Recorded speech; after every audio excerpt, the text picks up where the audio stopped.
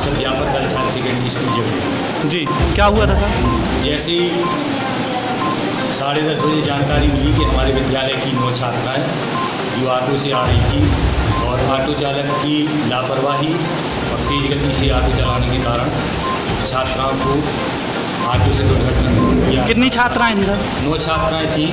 जिसमें से आठ छात्राओं को सामान्य चोटें किंतु एक छात्रा मीरा पटेल डॉक्टर राम प्रसाद पटेल जिसको घातक चोटें होने के कारण तत्काल पीएससी जबलपुर जबीरासी जबलपुर उसको एक सौ आठ से रेफर किया गया। स्टाफ के साथ में यहाँ पहुँचा छात्राओं की प्राथमिक उपचार की